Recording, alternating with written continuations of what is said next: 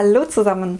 Ich hatte letzte Woche sehr viel Spaß in der Stadtbibliothek. Ich habe zum ersten Mal so richtig mit Sinn und Verstand und vor allem mit Ruhe durch das Lyrikregal dort gestöbert und habe sehr, sehr viel gefunden, was ich mit nach Hause nehmen wollte.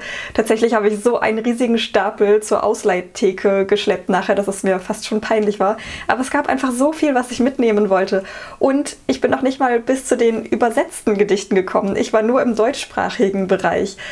Aber ich habe beschlossen, ich lasse euch an meiner Freude teilhaben und zeige euch einfach mal, was für Gedichtbände ich dort ausgeliehen habe. Und ich habe außerdem letzte Woche ein Gedichtband gekauft und ein Lyrikmagazin gekauft und die stelle ich euch am Ende des Videos auch vor, wenn ihr mögt. In der Vergangenheit habe ich ja vor allem sehr viel moderne Lyrik gelesen, aber diesmal sind auch ein paar ältere Vertreter dabei, das heißt ein paar ältere Lyrikwerker von bereits verstorbenen Lyrikern. Eine davon ist Sarah Kirsch mit Schneewärme da ist mir einfach der Titel ins Auge gefallen und hat mich sofort interessiert. Sträflicherweise kannte ich Sarah Kirsch vorher noch nicht. Eine Google-Suchanfrage hat mich aber darüber informiert, dass sie eine der bekanntesten deutschsprachigen Lyrikerinnen ist. Also freue ich mich sehr darauf, sie jetzt kennenzulernen. Günther Eichs Botschaften des Regens sehen schon ein bisschen aus, als hätten sie schon die eine oder andere Botschaft des Regens mitbekommen, so verwaschen wie hier der Titel ist. Es ist definitiv das älteste und abgegriffenste Buch, das ich jemals aus der Bibliothek ausgeliehen habe. Ähm, ich habe es tatsächlich mittlerweile schon gelesen und hatte sehr, sehr viel Freude hiermit. Ich habe ein paar Gedichte Gedichte von Günter Eich im Vorfeld im Internet gelesen. Es gibt ein paar online ähm, offen verfügbar und sie haben mir sehr gut gefallen und mein erster Eindruck hat mich nicht getrügt. Auch hiermit hatte ich sehr viel Spaß. Ich finde, Günter Eichs Gedichte sind so eine schöne Mischung aus, ich kann sie einfach lesen, ohne mir viel Gedanken drüber zu machen und trotzdem erzählen sie mir ein bisschen eine Geschichte und ich erkenne einen Sinn und ich habe eine Szene vor Augen und wenn ich möchte, kann ich aber noch viel mehr drüber nachdenken und dann erschließen sich mir noch ganz andere Bedeutungsebenen. Also es ist so eine schöne Mischung, weil manchmal lese ich Gedichte, wo ich denke, ich könnte stattdessen auch eine Kurzgeschichte lesen, so, so wie mir das da erzählt wird. Und dann wieder gibt es Gedichte, die sind so verworren, dass ich stundenlang drüber grübeln müsste, wenn ich überhaupt irgendwie verstehen wollte, was mir der Lyriker sagen will. Ja, und das hier ist eben schön, dass ich es einfach so runterlesen kann, aber wenn ich drüber nachdenke, dann fällt es mir auch leicht, noch mehr Dinge hinein zu interpretieren. Außerdem gab es so ein paar magische Aspekte. Ich erinnere mich zum Beispiel an ein Gedicht, ähm, wo es um eine Stadt ging unter dem Meer und um Gesprächsfetzen aus dieser Stadt, die mit den Wellen an den Strand getrieben wurden. Das fand ich irgendwie total schön und ich hätte irgendwie nicht erwartet, in Günter Eichs Gedichten so ein bisschen fantastische Motive zu finden, war daher umso glücklicher, sie zu finden, weil ich ja immer ein bisschen Magie habe gerne in meinen Büchern. Ich möchte auf jeden Fall noch mehr von Günter Eich lesen. Und dieser riesige Schinken hier ist eine kommentierte Gesamtausgabe von den Gedichten von Paul Celan. Von Paul Celan wurde auf dem ähm, Kanal Literaturlärm schon öfter geschwärmt, sodass ich neugierig auf ihn geworden bin. Das hier ist eine überarbeitete, kommentierte Gesamtausgabe. Es hat wohl schon mal eine gegeben, die aber nicht so umfassend war wie diese hier. Das liegt momentan an meinem Bett und ich lese jeden Abend so ein, zwei Gedichte. Ähm, die Kommentare geben nicht wirklich Interpretationshilfen, sondern sie ordnen die Gedichte eher so in den zeitlichen Rahmen ein, wann Paul Celan das geschrieben hat. Oder ähm, sie erklären Pflanzennamen oder Wörter oder so Verbindungen, die zu anderen literarischen Werken gezogen werden. Ähm, ich habe es am Anfang so gemacht, dass ich immer erst ein Gedicht und dann den Kommentar dazu gelesen habe. Mittlerweile stelle ich aber fest, dass mir der Kommentar nicht ganz so viel bringt zum Verständnis und ich bin dazu übergegangen, die Kommentare nicht immer zu lesen, sondern einfach nur die Gedichte, weil ich da irgendwie mehr Spaß dran habe. Überhaupt ähm, setze ich mir nicht das Ziel, diesen riesigen Schinken komplett zu lesen in der Ausleihfrist. Äh, das gilt für alle Bücher, die ich hier zeige. Ich möchte einfach ein bisschen auch das nutzen, um einen Überblick zu kriegen, was es so gibt in der Lyrik und was mir gefällt und was nicht. Und ähm, ich setze mir nicht das Ziel, alles komplett gelesen haben zu müssen, bevor ich sie zurückbringe bringe zur Bibliothek. Wenn ich irgendwie von einem Dichter genug habe oder mir etwas nicht gefällt, dann werde ich die Bücher ähm, nicht zu Ende lesen. Und hier lese ich einfach so viel, wie ich Spaß und Lust dran habe. Mit diesem Buch könnte man übrigens auch Gewichtheben machen. Dann kommen wir zu den moderneren Werken. Trackelpark von Mirko Bonnet. Der Trackelpark ist wohl ein Park in Innsbruck, ähm, wo Mirko Bonnet gerne hingeht und diese Gedichtsammlung versammelt sowohl neue Gedichte von ihm als auch ältere unveröffentlichte Gedichte aus den letzten Jahren. Ähm, es gab so ein sehr schönes Bild auf dem Umschlagtext, wo es hieß, Gedichte sind die grünen Lungen der Alltagssprache. Das fand ich sehr schön, denn man spricht ja davon, dass Parks die grünen Lungen von Städten sind, weil sie eben den Klimahaushalt ein bisschen regeln und die Luft reinhalten, genauso wie Wälder die grünen Lungen des Planeten sind. Ja, und Gedichte als grüne Lungen der Alltagssprache, das fand ich ein sehr schönes Bild. Ich bin etwa zur Hälfte schon durch hiermit. Ähm, es gefällt mir ganz gut. Ich hatte, muss ich sagen, jetzt noch nicht so einen Wow-Effekt, wie ich das manchmal habe, wenn ich Gedichte lese. Ähm, ich könnte auf jeden Fall nie so etwas schreiben hier. Also ich habe sowieso Hochachtung vor allen Dichtern und Dichterinnen, aber es ist bisher so okay für mich. Jan Wagner ist mir empfohlen worden, deswegen ich direkt zwei Bücher von ihm mitgenommen habe. Zum einen Regentonnenvariationen und zum anderen Selbstporträt mit Bienenschwarm, ausgewählte Gedichte 2001 bis 2015. Ich weiß nicht, ob ich jetzt vielleicht auch Doppelungen habe in den beiden Büchern. Wenn ja, ist auch nicht so schlimm. Auf jeden Fall wurde mir gesagt, dass Jan Wagner ein moderner Dichter ist, der aber noch relativ klassische Gedichte schreibt, die nicht ganz so wirr sind und ganz so sehr ihre Geheimnisse für sich behalten wollen und nicht verstanden werden wollen. Ich habe ja festgestellt, dass ich solche Gedichte nicht ganz so gerne mag. Also freue ich mich sehr darauf, Jan Wagners Gedichte kennenzulernen. Als nächstes habe ich von Ulla Hahn so offen die Welt mitgenommen. Leider bin ich auch hiermit schon fast durch. Ähm, vor Jahren habe ich mal Ulla Hahns Gedichtband Widerworte gelesen und war absolut begeistert. Das war so ein bisschen auch der Startpunkt meiner Liebe zu Lyrik. Ähm, trotzdem habe ich nie wieder etwas anderes von ihr gelesen und ähm, das möchte ich jetzt auf jeden Fall in Zukunft tun. Also sie hat einige Gedichtbände rausgebracht. Der hier hat mir wieder genauso gut gefallen wie auch schon Widerworte oder zumindest annähernd so gut und ich möchte unbedingt noch mehr von ihr lesen.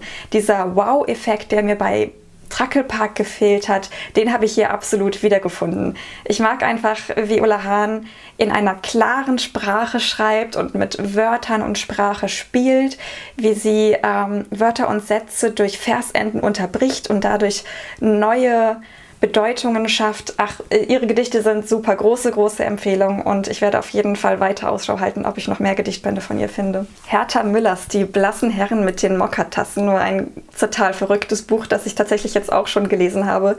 Sie dichtet hier mit Schnipseln aus Zeitungen und Zeitschriften, wo sie Buchstaben und Wörter ausschneidet und dann zusammenlegt und zusammenklebt. Ein bisschen wie man das manchmal aus so alten Krimi-Filmen kennt, wenn ein Entführer irgendwie irgendwie eine Botschaft aus der Zeitung zusammenschneidet und daraus einen Drohbrief zusammenklebt. So ähnlich sieht es aus. Ähm, ja, viele der Gedichte hier waren witzig und total skurril. Viele entziehen sich meiner Meinung nach auch völlig der Interpretation. Ich hatte aber sehr viel Spaß damit und ich habe mir überlegt, ich würde euch gerne ein Gedicht aus der Leseprobe zeigen und vorlesen.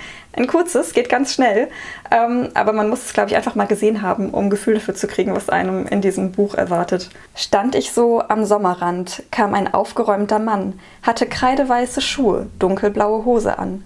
Frag ich, kann ich mitfahren? Und mein Koffer war kariert. Pfiff der Mann ein Möwenlied. Mensch, wie grün die Pappeln waren. Hab keinen Zugriff auf das Wasser. Und woher ein Schiff? sagt er, zupft an seiner blauen Hose. Und ich sage, macht ja nichts. Hauptsache, Sie sind Matrose über das nächste Buch, nämlich Marcel Bayers Graphit, das ganz schön spiegelt hier, kann ich euch noch nicht so viel sagen, außer dass ich in irgendeiner Gedichtsammlung vor einem halben Jahr mal ein Gedicht von Marcel Bayer gelesen habe und mir damals aufgeschrieben habe, dass ich mehr von ihm lesen möchte. Und deswegen habe ich jetzt explizit nach ihm gesucht in der Bibliothek.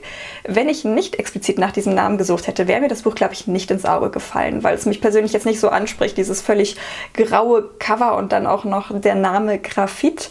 Aber ich kann, wie gesagt, noch nicht so viel dazu sagen. Ich bin auch hier drauf sehr gespannt. Sabine Scho, Farben, ist ein anderes Buch, in das ich auch schon ein bisschen reingeguckt habe. Von dem, was ich bisher gelesen habe, glaube ich, ist es nicht so mein persönlicher Geschmack, aber ähm, ein paar schöne Ideen sind schon hier drin. Sabine Scho hat sich wohl von Farben inspirieren lassen, weil das Besondere an Farben ist, sie sind es ist physikalisch bewiesen, dass es Farben gibt und trotzdem entstehen Farben erst durch unsere persönliche Wahrnehmung. Das ist so eine ähm, schöne Zweideutigkeit, die Farben haben und womit sie irgendwie hier spielt.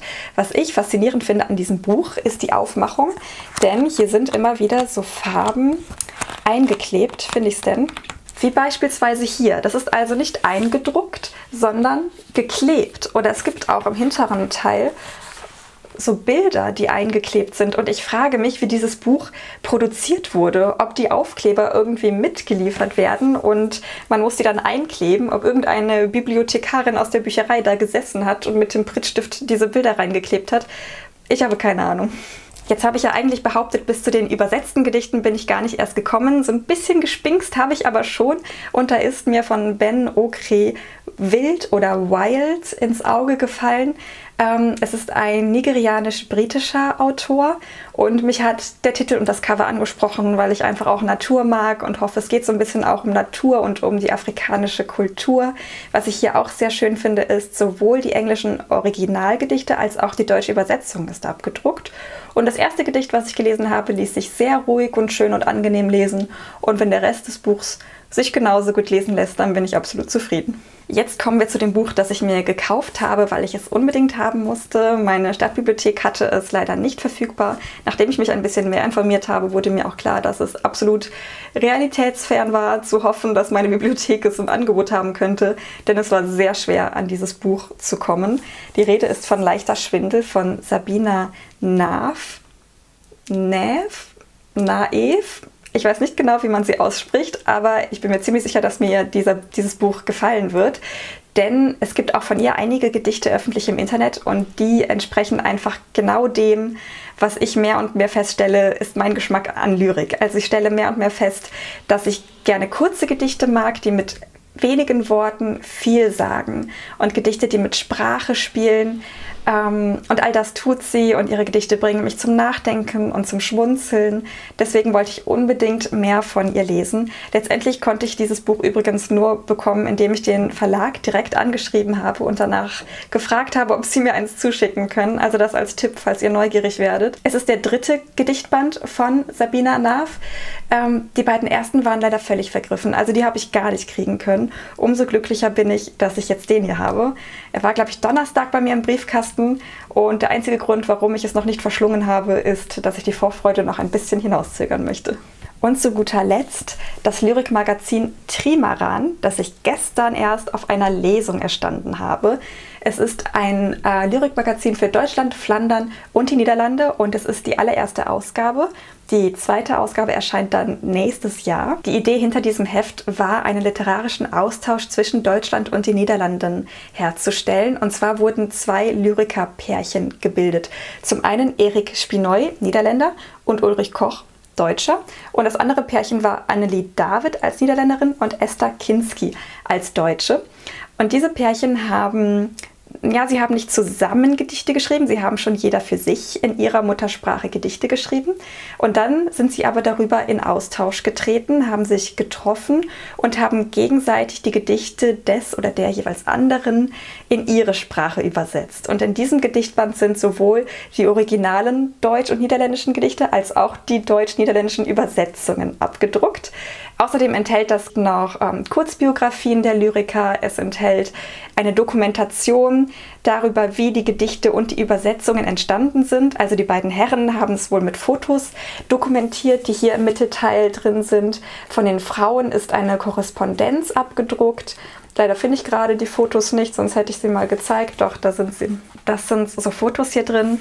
Ähm, es sind auch äh, Buchempfehlungen drin, es sind Essays drin über die Entwicklung der Lyrikszene in Flandern. Also wirklich sehr reichhaltig und ich denke, ich werde das hier von vorne bis hinten durchlesen wie ein Buch. Ich habe übrigens lustigerweise direkt hinten bei den Buchempfehlungen die Regenton-Variaties von Jan Wagner gefunden, also die Regenton-Variation, die ich euch gerade gezeigt habe in der niederländischen Übersetzung. Das sind alle Bücher bzw. Magazine, die ich euch vorstellen wollte und ich hoffe, es war etwas Spannendes dabei. Wie immer bedanke ich mich fürs Zuschauen und ich würde mich total freuen, wenn ihr mir sagt, ob ihr schon irgendwelche Lyriker oder Bücher, die ich hier vorgestellt habe, schon kennt und was ihr von ihnen haltet oder was eure Lyrikempfehlungen für mich sind. Denn ich bin immer noch dabei herauszufinden, was an Lyrik ich mag und was nicht und ich freue mich da total über eure Tipps. Also lasst sie mir gerne, gerne in den Kommentaren. Ansonsten verabschiede ich mich und wir sehen uns in meinem nächsten Video. Bis dann!